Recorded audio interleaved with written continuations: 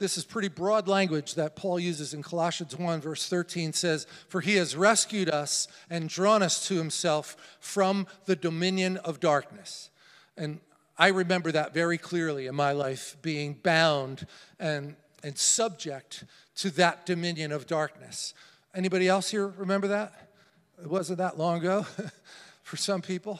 And it's, it's got a very strong pull. And, but what did he do? He he took us from the dominion of darkness to something, and He's transferred us to the kingdom of His beloved Son, right? So I'm grateful, Lord, that you found me. I once was lost, but now I'm fine. found. I was blind, but now I can see. I, I operated my life under an old paradigm that led me to think that sin was a success in the culture that I grew up in the amount of money that you made was, was the way people would measure you, or the amount of people that you slept with uh, was a measure of how successful you are in that, in that counterfeit tribe that the world tries to make so important. And it never changes. Like we were just watching some movie, and every commercial, it's just back to the same old theme over and over. They're selling the same things over and over more flesh, more you know, radical behavior, and it, it just can't be satisfied, right?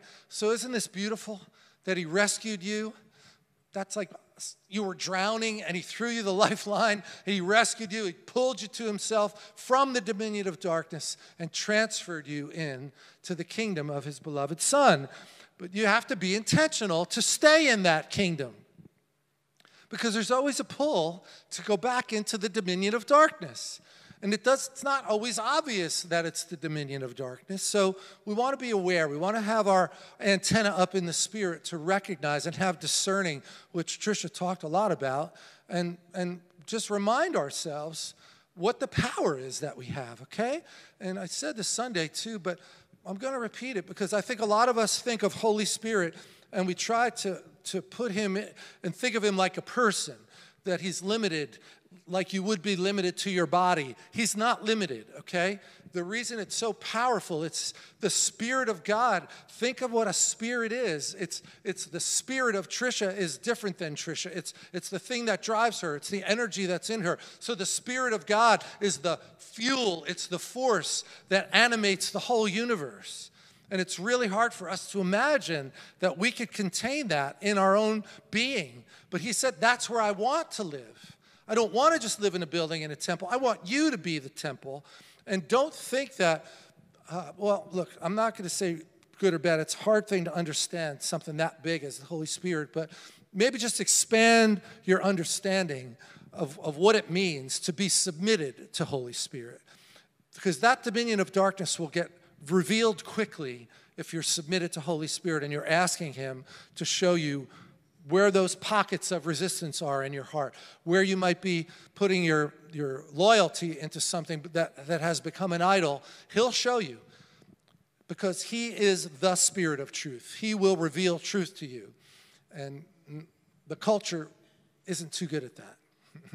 so I want to just take you to the crossover between the end of the Gospel of Luke which is chapter 24, and the beginning of the book of Acts, which is also written by Luke, right? So there's a beautiful continuity here between the end of, of the Gospel of Luke and the beginning of the book of Acts. In verse 46, Jesus is speaking, and he has revealed himself as the risen Christ, and he's about to leave. He said, This is what the scripture said the promised anointed one should suffer and rise from the dead on the third day, that in his name, a radical change of thought and life should be preached.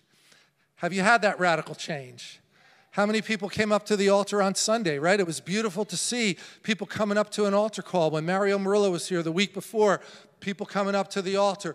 And then the week before that during worship, people coming up to the altar. It's awesome, isn't it? To see that. It's what this is. It's a radical change of thought and a radical change of your life. And it's far superior but it's not easier, is it?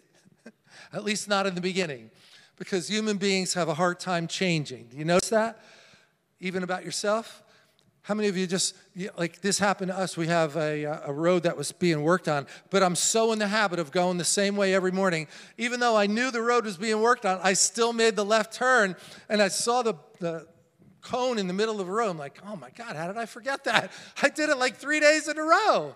Now, I could blame it on being early. I didn't have my coffee yet in the morning, but no, we just get in a rut. We just get in a routine. It's not a bad routine, but, but we're not always alert to how hard it is to change. We get used to things, and, and it gives our brain a break when we don't have to think about it, but that is not the way God wants us to live it. He wants us alert at all times. so, a radical change of thought and life should be preached. That's what we should be doing. That's what we should be telling people that this radical change of thought will, will radically change your life for the better.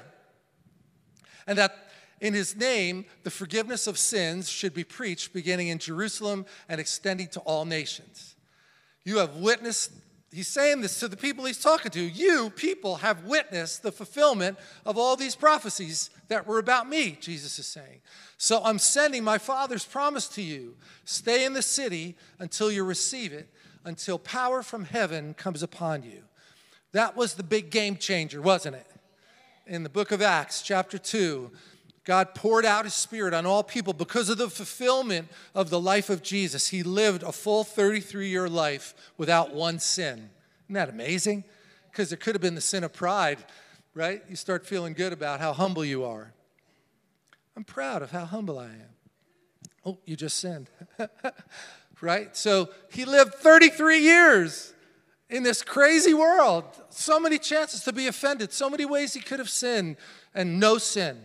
And it's the first human being to make it all the way through his whole life without sinning. So when he dies, he's that perfect sacrificial lamb. And then he's risen three days later, and that's, that's Adam, really. That's the recreated Adam, a new life with God's Spirit in it that hasn't sinned. Isn't that awesome? Everything that Adam had, we have access to now in part fully when Jesus returns.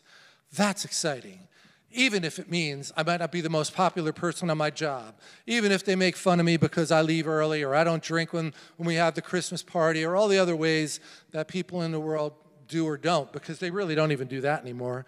And half the time, when nobody's looking, they come and ask you to pray for them because they know there's something different about you. And, and that's really another thing I'm going to be talking about today. If we're submitting to the Word of God as our authority and to the Spirit of God as the energy in our lives, people are going to notice that because there's a different spirit about you. It's not the spirit of the world. And I, you might have heard me say this, but I, I always remembered my wife telling me the story of how she got saved. And it was one of the guys on her job uh, that had been very aggressive in his, uh, I don't know, I don't want to use the wrong words. Yeah, his behavior towards her was, was aggressive. And she used to use the phrase, he would try to undress me with his eyes. So the women, not just her, yeah, many women. And, you know, we've all seen that happen, but it's so defiling, right? And then one day, he was sitting in the break room, if I remember right, and he walked in, didn't say a word. And she walked up to him and said, What happened to you? A different spirit. He wasn't trying to undress her with his eyes anymore. Something changed. And she knew it was for the better, but she didn't know what it was. And those kind of witnesses pile up. And you start seeing people's lives that have changed. Her mother became a Christian because of the change she saw in her, right? Partly due, not, not only due to that, but, partly due to that. Um, my father became a Christian because my mother wore him down. but, but he couldn't deny the change that, that happened. And, you know, he loved her before she was a Christian, but there was definitely a transition in her life. And, and she was just like a pit bull because he, was, he had an angry, bad temper, but he, she didn't care. She was courageous and stood up, you know, was violent and not violent. He didn't get physically violent, but he was a scary guy when he got angry. And she just kept on loving him, kept on putting the Christian show on when he would walk into the kitchen in the morning, leave a track in the bathroom for him, popped a tape in on the ride down the shore one time. After 25 years of him resisting, that tape, I'm calling it a tape because it was a cassette tape for the young people who don't know what I'm talking about and by the time they got down to the shore, she said, Would you say the sinner's prayer? And he said, Yes. after 25 years. A radical change in his behavior. The Holy Spirit in us, Paul said it this way it compels me to keep going. Jeremiah said, It's a fire shut up in my bones. I can't take a day off of being a Christian. It's still in there. And if I meet people, my sister in law Linda at her job, everybody in the place got saved. Right? Like all the people in her department, they're still calling. She left the company, they're still emailing her. She's still sending them the daily bread, right? Is it the daily bread? It, it's just a gift when, when, when he puts that in you that you want to see people change. And that's this power that comes down from heaven. And if you think about the change in Peter's life, like what a radical change from denying Jesus three times to being one of the people in the New Testament that showed the most courage. Stands up in the book of Acts, it says to the authorities, You decide for yourself what you should do, but we've already decided we're going to keep talking about what we know and what we've seen. The coward in, in the gospel becomes the hero. The, the person we look to as the man of courage. And what's different? Got filled with the Spirit of God. And all of you have the Spirit of God in you. And we should just say, Lord, I give you more access to my heart. I, I want to yield to you more than whatever I've done up till now. And, and that could be a daily prayer. You'll never have too much yielding to Holy Spirit in our belief system. So then in verse 3 of Acts chapter 1, which is just the very next thing that Luke is writing. He said, after his great suffering and vindication, he showed his apostles that he was alive, appearing to them repeatedly over a period of 40 days, giving them many convincing proofs of his resurrection. The main reason historians would tell you that Christianity became the biggest and well known and most uh, influential belief system in the world is because of the resurrection. 500 people saw him, right? You know that from, from reading scripture. And Luke is just reminding us, appearing to them repeatedly over a period of 40 years, giving them many convincing proofs of his resurrection. He spoke constantly of the kingdom of God, constantly of the kingdom of God. I want to keep saying it because we're not real familiar with the kingdom of God, but when Chuck Pierce was here and so many different uh, national people talk about we're moving out of a mindset of just being in the church to being part of the kingdom. And, and it's been unraveling. This, this understanding of this teaching, at least in our circles, has been getting stronger and stronger as the years have gone on. And people like Dutch Sheets and, and Lance Wallnau, who we've known for many years, known well have been talking about the kingdom, but now they have a much bigger like international platform because during COVID, the, the, the gifts that were in them surfaced and became internationally recognized. And, and it's a beautiful thing. And, and I couldn't be happier about it, to be honest, because somebody like Lance, we always would be so taken by all the gifting that was in him, and he wasn't really that well known and, and now he is, and so is Dutch, and that's how it should be, because they, they're deep wells. Both of those people are deep wells that we can draw from, who have known this kingdom understanding for a long time, uh, especially Lance with the seven mountain teaching. If you're not familiar with that, I'm happy to give you more information on that. But it's the idea that we're not just saved to sit in church and wait for Jesus to come back. We're supposed to be in all areas of culture, government, teaching, entertainment, you know, uh, every form uh, I'm in the finance industry, which most people don't associate with spirit filled people, but there's plenty of them there. Every aspect of life should be penetrated by spirit filled believers. That's when we get changes. If there were spirit filled believers on the school boards of education, we would not have the current curriculum that we have. Somebody would have taken a stand. And now it's we have to go back and, and retro, try to reverse something that's already been done. Not a great idea, is it? All right, so he's prohibiting them from leaving Jerusalem. He spoke constantly about the kingdom of God, prohibited them from leaving Jerusalem, required them to wait there until they receive what, they, what he called the promise of the Father. And what was that promise? Say it again. A little louder. Yeah, we're going to repeat that a few times tonight. Jesus, this is what you heard me teach, is what he said. That just as John ritually cleansed people with water through baptism, so you will be washed with the Holy Spirit very soon.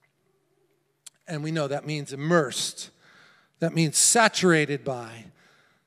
And we're not worshiping Holy Spirit, but we're also not relegating him to some minor role Because he gives us wisdom, he gives us revelation, he reveals the truth to us. So, why wouldn't we want to cultivate a strong relationship with the very essence of God's nature that's already living on the inside of us? And then you can become a little militant about people who try to pollute your nature with outside stuff. No, we're not going to do that. We're not going to, it's hard enough to win the spiritual wars that are going on than, than to allow things in. They're going to weaken my spiritual immune system. Fair enough. It could get legalistic. I get it. It could get legalistic if you if you go off the deep end on that stuff. But then there's also just common sense that says, think on these things, whatever is pure, whatever is holy, and don't pollute your mind with corruption, which is what the world offers.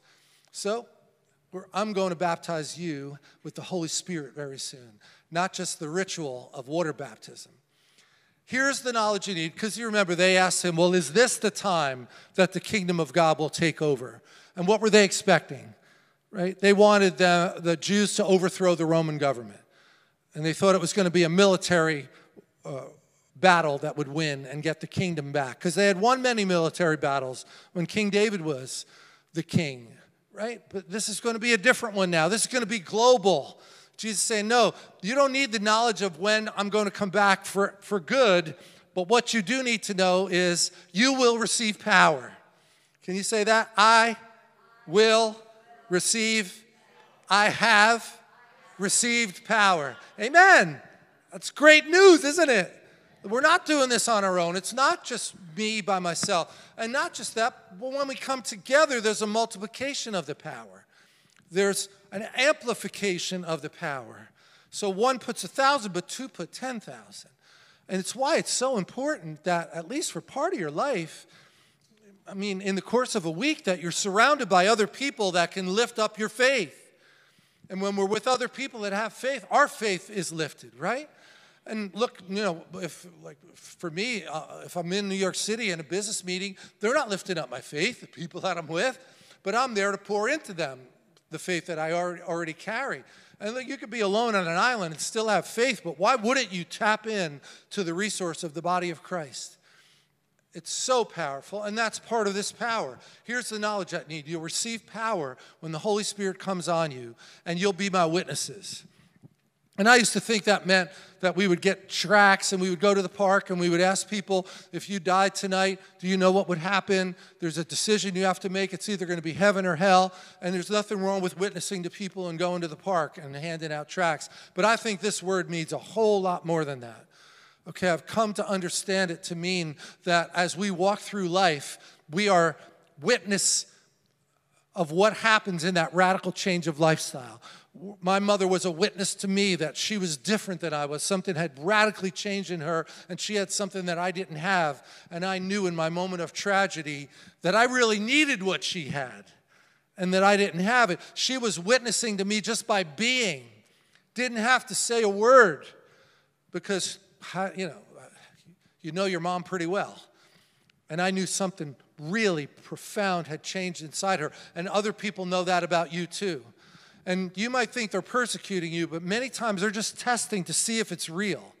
Like, do you really mean this? So again, I'm just remembering something now I hadn't thought about in a long time. But Tricia, when she first became a Christian, would be riding to work with other with other people who she knew were Christians, and because she was new, she assumed that they were being literal and following the Bible, you know, to a T.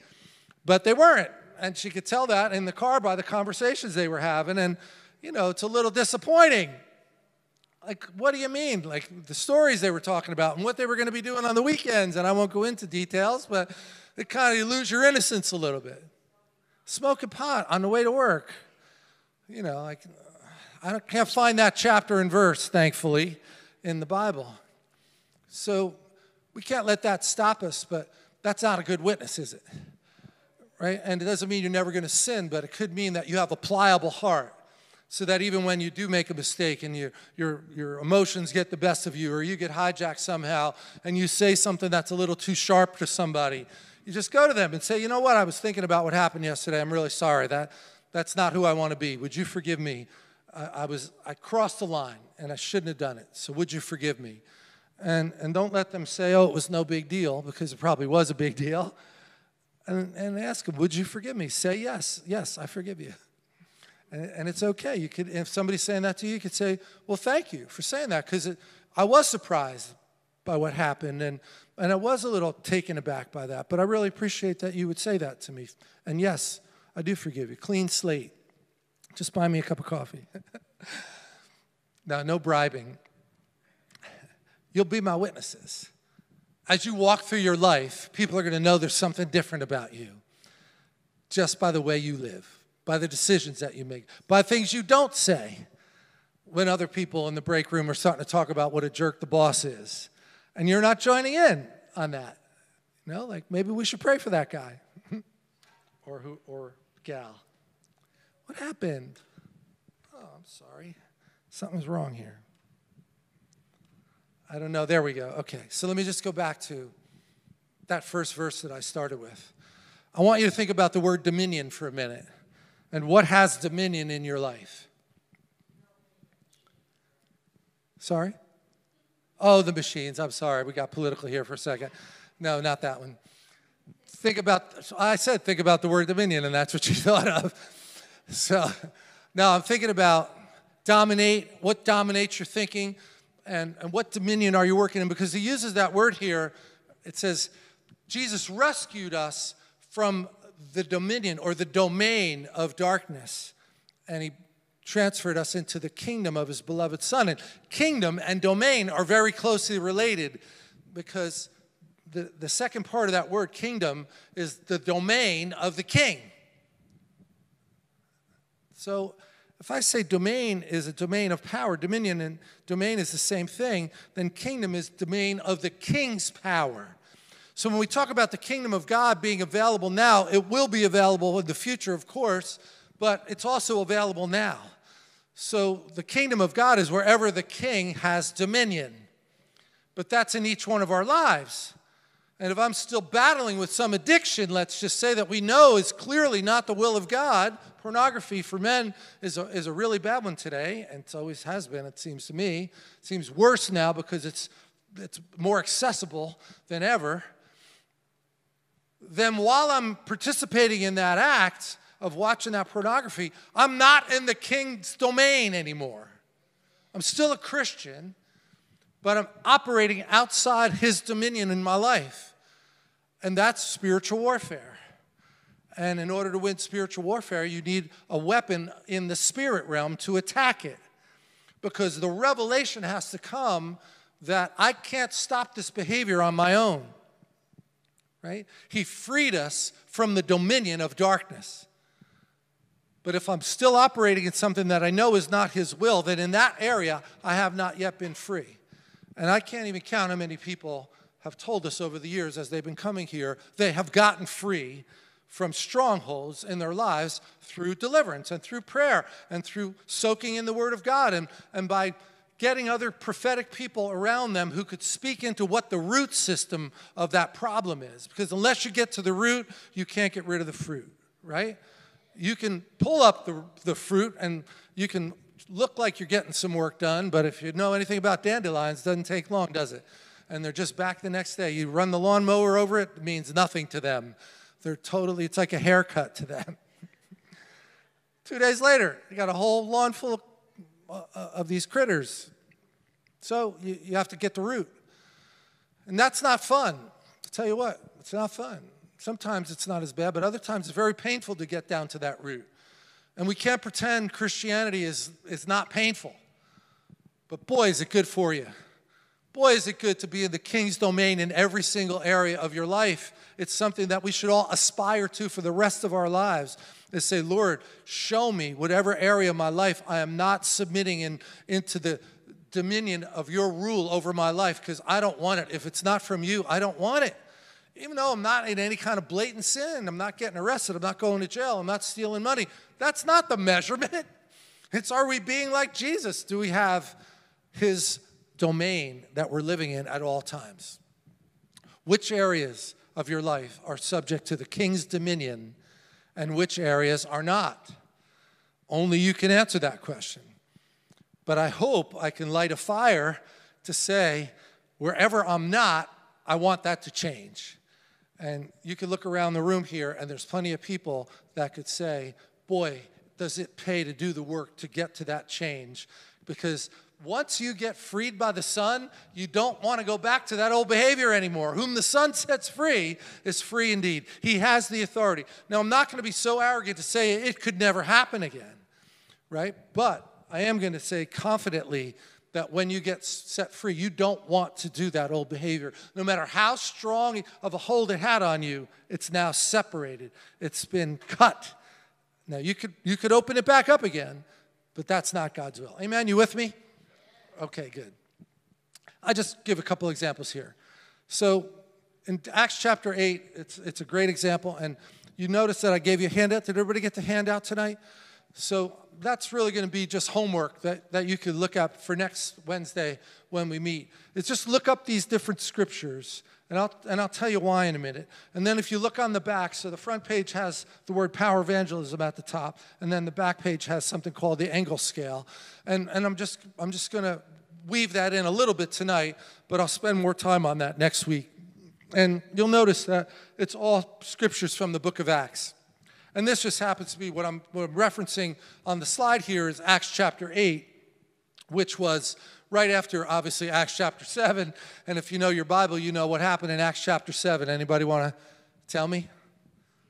Yeah, bummer, right? Like first martyr, Stephen gets stoned. And it says, some devout men in, in Acts chapter 8, verse 1, some, some devout men buried Stephen. Now, stop looking at the handout. That's for next week. Look at me.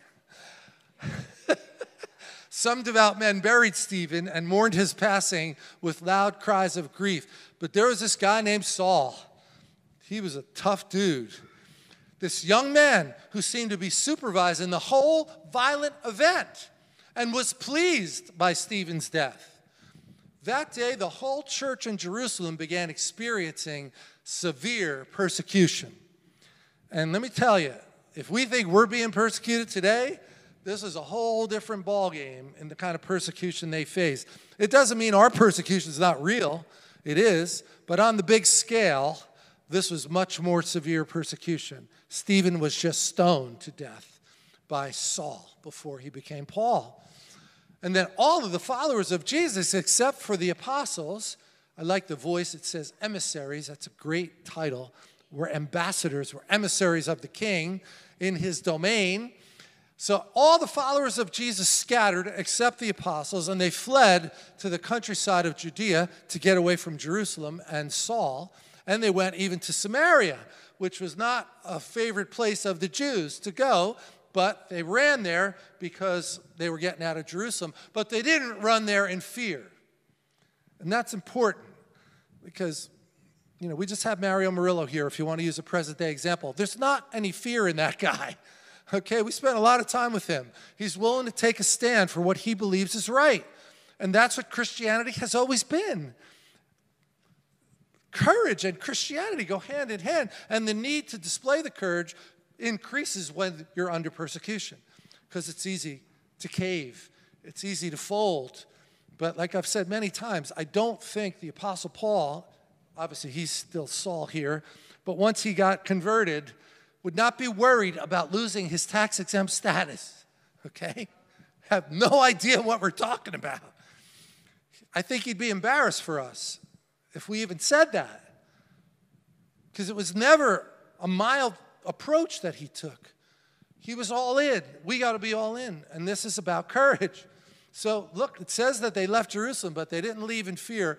They kept witnessing when they went. Verse 3 Young Saul went on a rampage, hunting the church, house after house, dragging both men and women to prison. All those who had been scattered by the persecution moved from place to place, and wherever they went, they weren't afraid or silent. Instead, they spread the message of Jesus. Can we just ask God for that kind of courage right now? Just ask Him. Just lift your hand for a minute and say, Lord, give me the courage not to bow to the tactics of the enemy that's trying to put fear on me. Let me be like these people who went and spread the message of Jesus with no fear on my life. Thank you, Father. That's your will for my life in Jesus' name. So, Philip, right, who wasn't one of the 12 apostles, but he was a leader in the church, and he goes, headed north to the city of Samaria, and he told them the news of the anointed one. So he's preaching this gospel of a liberated lifestyle, of a radical change of the way you think and, and which dominion you should live in. You should live in the dominion of God and his son Jesus and this power that Jesus released called the Holy Spirit. That's good news. The crowds in verse 6 were united in their desire to understand Philip's message. They not only listened with their ears, but they witnessed. See that word witness? You will be my witnesses. Acts chapter 1, verse 8. You will be my witnesses. Well, they witnessed miraculous signs with their eyes. And that's a game changer. When people witness a miraculous sign or they experience you speaking a prophetic word over them and, and, and something they know there was no way you could possibly know, that's a game changer. Their attention just bumps up to a whole other level like, wait a minute, how did you know that? And what would your answer be? Well, I'm just so special. No. I know God, and He told me to tell you because He loves you. I couldn't have known that about you. I've never even met you before. It had to be the Lord. And that proves a factor of reality to them that God is real. And, and it's usually something very comforting to them because God's not about to just, you know, strike them down. He's given you an encouraging word for them. And, and if we don't step out and take the courage to do those things, who's that on? It's not on the Lord. He's telling us what to say, but if we're too afraid to say it, then that's on us. I'm not trying to shame anybody, but like I said Sunday, when, when I saw that idea that God is the asylum seeker, God is looking to live in people's hearts. He wants to live in the heart of every human being on the planet. And part of our ambassadorial role is to say, you need to make room in your heart for God because He wants to live in there with you. Jesus, the Holy Spirit, the Word of God want to be in you as you be in the temple. Man, it's a whole different approach than, than just fear tactics. And if you don't do it, you're going to go to hell. There's so many benefits right now of the peace of God that comes in to our lives, right? Anyway, they witnessed with their eyes the miraculous signs that Philip was doing. Unclean spirits, which is, is another word that you'll hear, if, um, you'll read if you read in the Gospel of Mark. Just in the first two chapters alone, multiple mentions of unclean spirits. Jesus would walk in, there'd be a man in the temple with an unclean spirit, and he would cast out that demon. You think there's some unclean spirits in America right now? Oh, our tax dollars are going to sow unclean spirits into little kids around their sexuality. It's demonic. And we can't just sit here silently and not say anything about that. Sorry. If that's a version of church, that, that's not the biblical version of church. We have to be engaged. These are our kids. That's our future. What do you love more than your children? And you're going to just roll over and let somebody completely destroy their thinking about one of the most important things in life is their sexuality. So I know I'm preached to the choir on that one. But these spirits just started crying out with a loud scream as they were exorcised from people, and paralyzed people and lame people moved and walked in plain view. So one guy came down from Jerusalem to a sinful area called Samaria, and miraculous signs and wonders were happening. It's not because he was some special guy. He was just willing. He was a willing vessel. Each one of us here that's willing to operate in the domain of the king will find a place where he'll use us miraculously. We don't have to try to become Billy Graham or try to become Heidi Baker or whoever else you admire. They're all wonderful people. But what about you? Do you think Billy Graham was trying to be somebody else? I'm sure he was influenced by other people, but he was going to be him. And he set his own course. So that's how we all have to think about this. And I love this. So the city was swept with joy. Wouldn't that be cool if you could say that about Basking Ridge? Was swept with joy because so many miracles were happening, so many demons were coming out of people that the whole town knew that some radical change had happened and it wasn't an expensive radical change. It didn't cost anything but the price of submission. we decree it Jesus. I was talking to a man who was up in Batavia, New York, uh, with Mario Murillo uh, at that event that they had up there. Thousands of people got saved, right? Not just attended the meeting, thousands of people got saved and come up to the altar call. They were talking to the pastors afterwards, and the churches were packed with people. It wasn't just a quick decision in a meeting. They were following through and actually going to the church and getting their Bibles. And like that's, a, that's miraculous when you see it happen on that kind of a scale. But that should be regular for us, right? Like we might be setting our expectations too low. So, anyway, I like this part too. It says in verse 14 Meanwhile, the word reached the Lord's emissaries, the apostles in Jerusalem, that the message of God was welcomed in Samaria. And that raised a few eyebrows. Like, really? Samaria? Are you kidding me? Those people down there? A land of half breeds and heretics?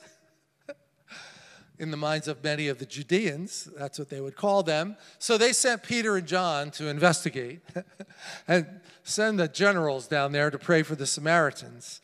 And they were especially eager to see if the new believers would receive the Holy Spirit because until this point they had only been baptized in the name of the Lord Jesus, but had not experienced the Holy Spirit. And when Peter and John laid hands on these people, the Holy Spirit did indeed come upon them all. Some of them, all of them. Isn't that awesome? So, look, if you're reading the book of Acts and say, yeah, but that was back then and that doesn't still happen today, you're in the wrong church because we don't believe that. There's no defense for that position. If it's not happening, maybe it's on us.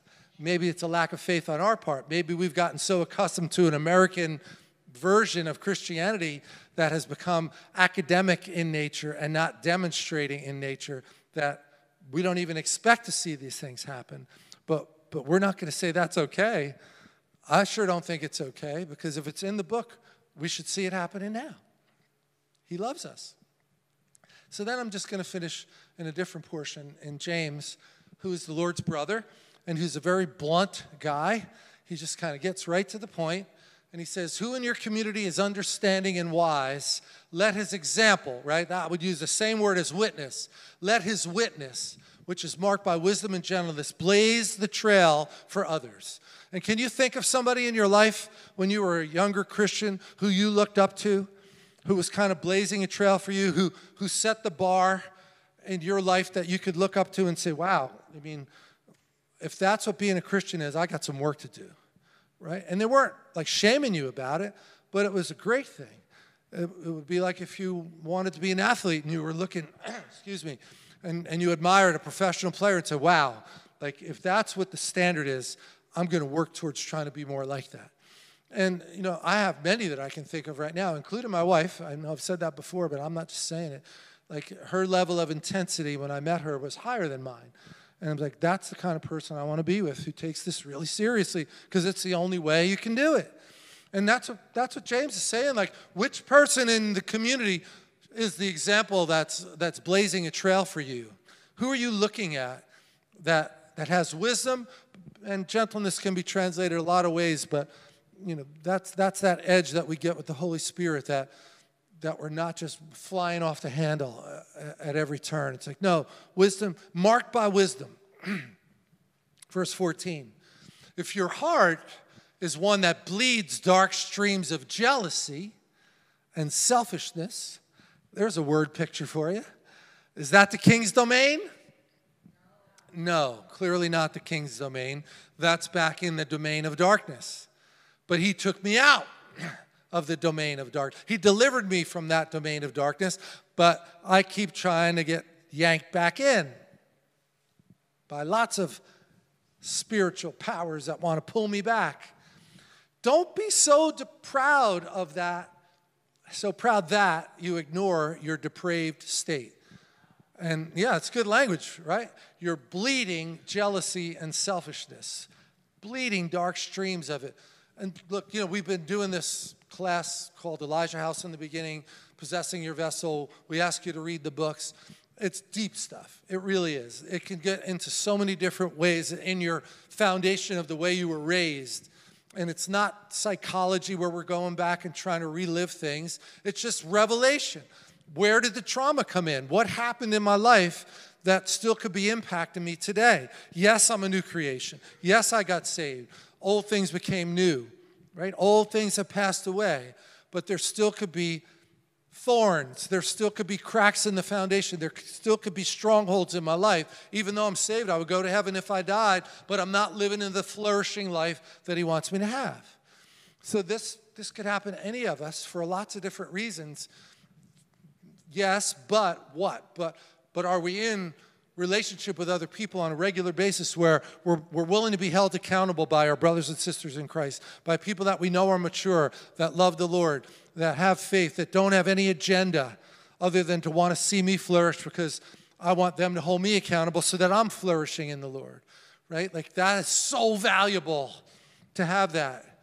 I mean, there's people that would drive over an hour to get here on a Sunday morning, and, and there's party that's like, really? Like, it would be good if you found a place closer so you could be in community with the people but they're like no this is this is where i want to come because this is the kind of atmosphere i need to be in. And i'm not saying that as a commercial. I'm saying it in a way like what a shame that there aren't more places that people could go to where they would feel that. Praise god that it's here but tap into it. It's it's much more powerful than i realized i can tell you that. And after COVID, I think we all understand how dangerous isolation is. So, anyway, I'm not going to ignore that depraved state. The wisdom of this world should never be mistaken for heavenly wisdom. Look at what he says. James out, right? This is the Lord's brother. He was the leader of the church in the book of Acts. He said, The wisdom of this world originates below in the earthly realms with the demons. Told you he was blunt. It's demonic, okay? That's the dominion of darkness. If they're not operating off the dominion of the kingdom of God, it's demonic because he's the ruler of the world. Prince of this world is coming, Jesus said, but he has nothing in me. Nice. I'd like to be able to say that. Verse 16 any place where you find jealousy and selfish ambition, you'll discover chaos and evil thriving under its rule. Selah, America, right now. I, am not going to try to get too political, but I mean, there, uh, you, if you look at some of the things that are happening and you don't think it's insane, I got to talk to you. There's a law passed in California that you can walk into a store and steal up to $1,000 worth of merchandise and not be persecuted. Prosecuted, sorry, not persecuted, what we get for saying it. Not be prosecuted. You're the business owner, and people are allowed to walk in your store, steal stuff. You call the cops, and they can't do anything about it. Is that demonic? Or, or am I missing something? And somebody, please tell me if I'm missing something. We're crazy. Well, that place is crazy. I'm guaranteeing you the people that signed that law never ran a business. Chaos and evil thrive under the rule of jealousy and selfish ambition. That's a headline for today. And then, I don't know, you probably have already read this, but it's worth reading again just to remind ourselves what the dominion of darkness looks like compared to the dominion of the Lord. But I do want to spend a minute on the handout, and I know what time it is. So Galatians 5:19 says it's clear that our flesh entices us into practicing some of its most heinous acts, right? So we've been taken out of the dominion, we've been delivered from the dominion of darkness and brought into the kingdom of the Son of God's love.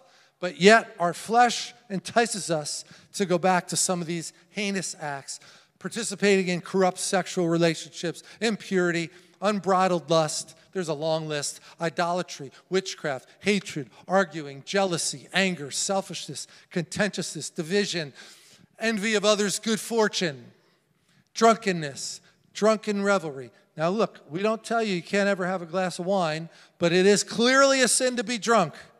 So if you think you have a problem and you have a hard time holding your alcohol, better not to have the first glass. Not a sin to have the first glass. But boy, it's clear here, he's lumping this all together drunken revelry and other shameful vices that plague all of humanity. Right? Paul's writing this to the Galatians. Everybody faces these temptations, but you received power. Thank you, Lord, for that power that you gave me.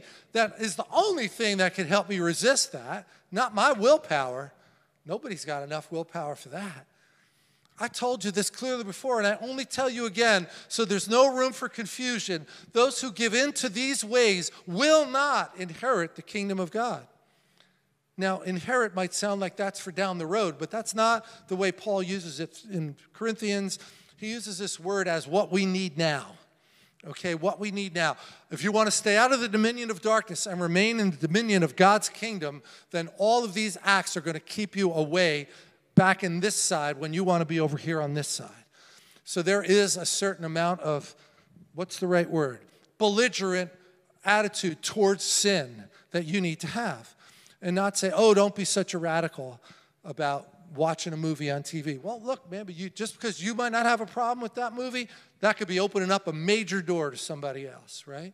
And Paul said that. Don't do that to people. Just because you've got victory in an area, don't shame them. Right? Don't cause your brother to stumble because something's not bothering you, but it could be a serious problem for them, right? All right, so let's just look at that chart that I gave you, and then we'll, we'll close in prayer. And, and we'll pray for anybody that's here tonight that if the Lord is showing you anything, opening up some stronghold in your life, revealing a root, take, keep a journal, okay? Like you know, we tell everybody this keep a journal because if you're praying and you're really seeking the Lord in the morning, He's going to tell you things and you might not get the whole picture, but you start journaling everything, and, and then the pieces of the puzzle start pulling together. So, just at first glance, you could see that it's all different scriptures from the book of Acts. And the reason it's put together this way is to try to make a linkage between how the kingdom of God grows. Right? Now, no, I just want to tell you, we all win when the kingdom of God grows. All right? Because there, there develops a momentum and an inertia right? Things in motion stay in motion, and things at rest stay at rest. So when the kingdom is growing, there's a power that just happens like what happened, excuse me, in the book of Acts. People were getting saved. Many were people, people were coming into the kingdom. So uh, in, uh, the day of Pentecost is Acts chapter 2, verse 4. Peter was the one that was preaching, and it says specifically in verse 41 that 3,000 were added to the church. Awesome. That's what we want. The more people that are Christian in this county, right, that's good for all of us because they're making better decisions, much better decisions than whatever the dominion of darkness would offer them. The next one, in the next chapter, a cripple is here, healed. Peter is preaching, verse 12. 5,000 believed. Chapter 4. Chapter 8, I already read it with Philip. And then I didn't read it, but later in that chapter, the eunuch is baptized, so he comes into the kingdom. Uh, Cornelius, we know that was there. Amazing story of, of Cornelius um, that Peter witnessed to. Many came into the kingdom. Chapter 10, it says it. So, right down the line, whenever there was a demonstration of miraculous signs, wonders, people getting healed, prophetic words, words of knowledge, the demonstration of what we read about in the book of Acts, the kingdom grew. That should be now. That should be all of us being equipped, the equipping of the saints for the work of the ministry, that the church would grow. Not King of Kings Church grow, the church, the number of people who are under the dominion of the kingdom of God now, not just the future version, the kingdom now. That's what stops you from getting drunk, is because I'm not having the first drink. If you don't have the first one, you can't have the tenth one, right? And that's not your willpower that did that. That's the power of the Spirit in you well, if you don't get drunk, I mean, I've read statistics that say 50% of the murders in America happen by people who are drunk, and 50% of the people who are killed are drunk when they die. Okay? So if all we did was eliminate alcohol, we tried that, it didn't work. we'd, we'd have a lot more people alive today, wouldn't we? Well, look, you have to decide your relationship with that. That's fine. I'm not telling you what to do other than I'm choosing the kingdom of the dominion of the Son of God, the Word of God, and His Holy Spirit. And if you want to step across that line and have a glass of wine, go ahead. That's not a sin. Just be careful. That's all I'm saying. Just be careful. With all of these things, just be careful. And, you know, as you study these, I'm just asking you to read this as homework and then flip over on the other side and I'll tell you why I'm giving you that one too, because again, like Mario Murillo, left a deposit, and his main gift is evangelism, and he's a prophet, right? He's basically saying to America, much like in, in the book of Haggai, it says that the prophet came and said, Consider your ways. Powerful statement by the prophets. And when Mario says, America, consider your ways, California, consider your ways, it's where he was living for most of his life. It's like that's what the prophet does, regardless of where the chips may fall.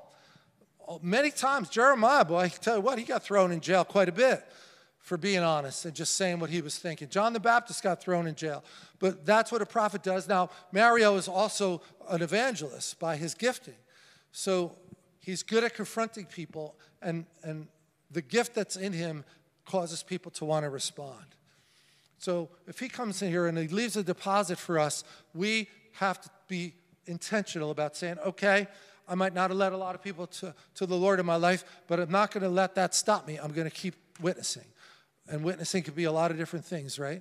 And that's what this is. It's just helping us understand probably what happened to you, probably the, the process that happened in your life. If we got people up here to talk about their salvation, let's just think about it for a minute. You look on the left side, it says God's role. In the middle, it says the communicator's role. And then on the right side, it says man's response. So I'll just use Tom Kissel because he's in the back and we're friends, so he won't get mad at me if I say something. So he is a minus eight when I meet him, let's just say. What does that mean?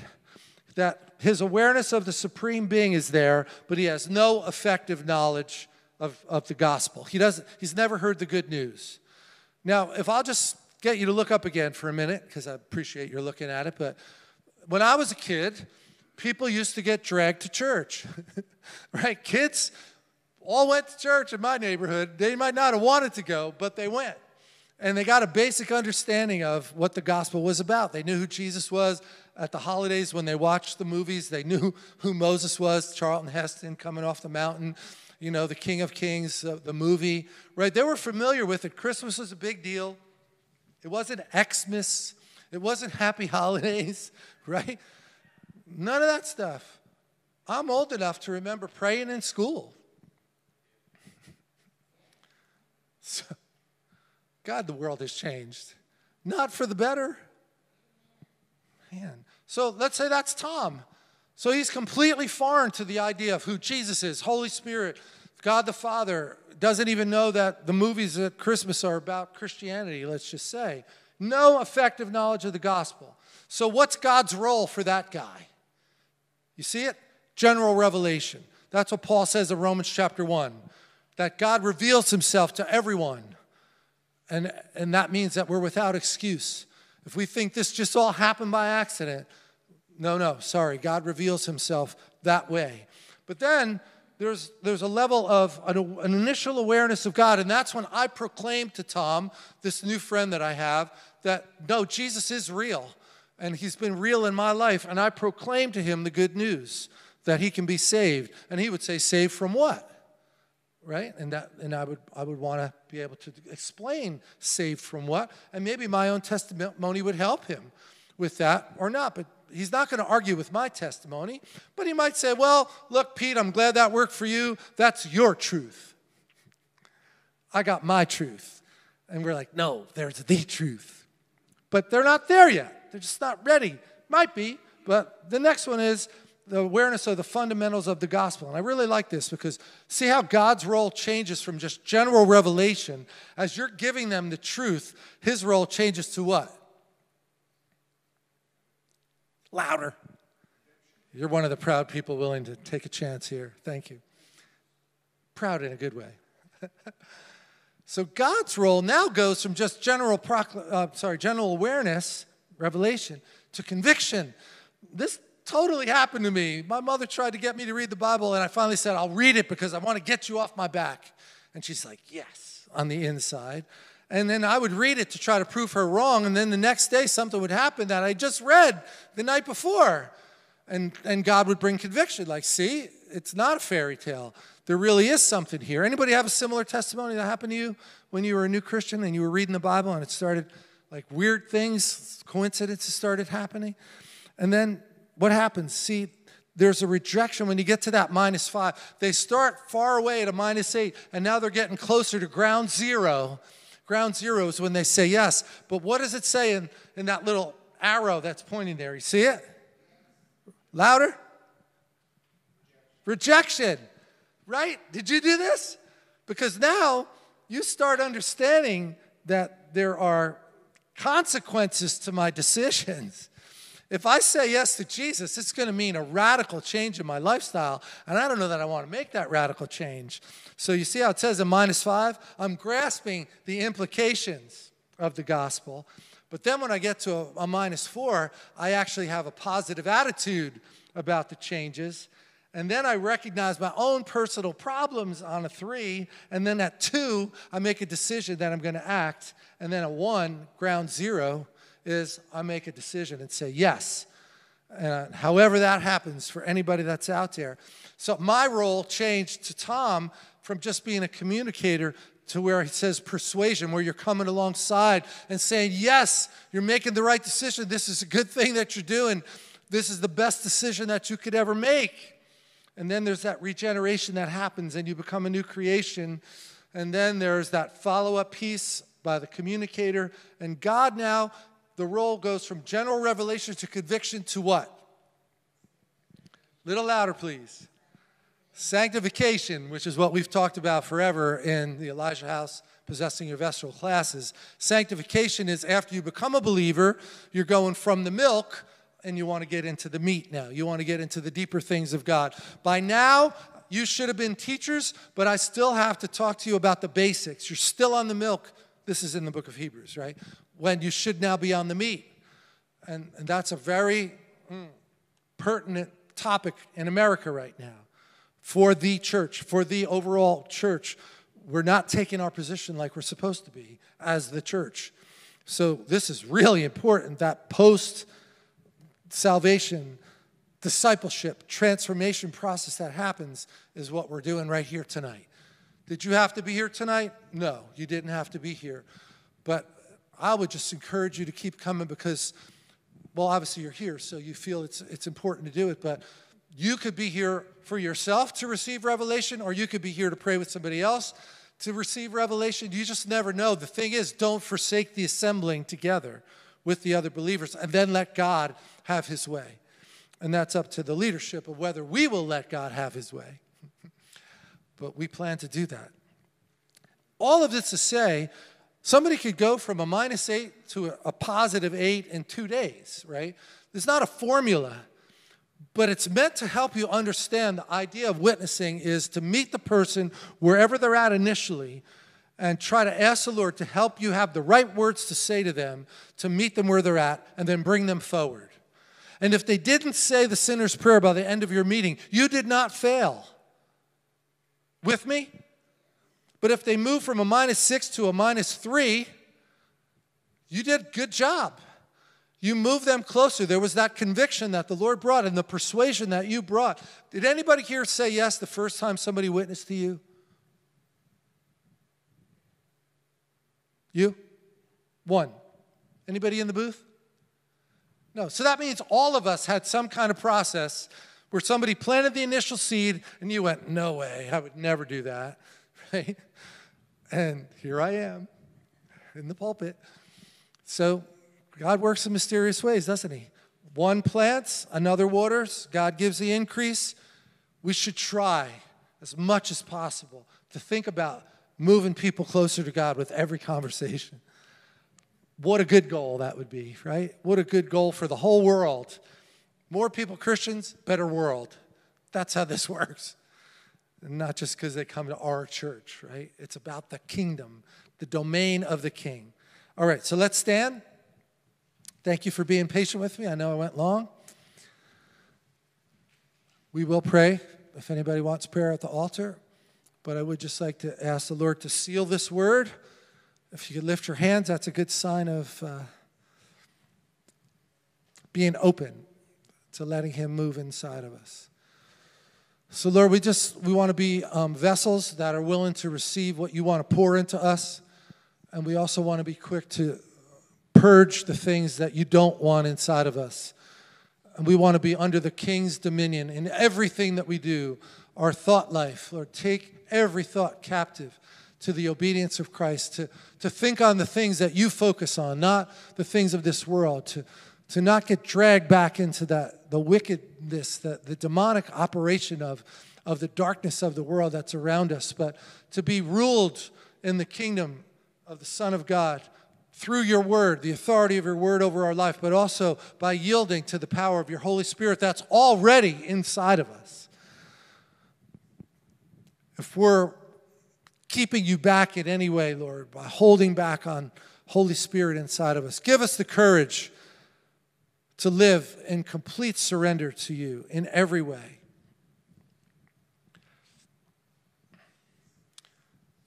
Thank you, Holy Spirit, that you reveal truth. That Jesus said, Everything the Father speaks to me, you'll hear. You'll receive that revelation through the Spirit of truth that will live on the inside of you. So, Lord, in any way that we have given ourselves over to idolatry, we repent right now of, of of false gods that we've elevated above the authority of your word.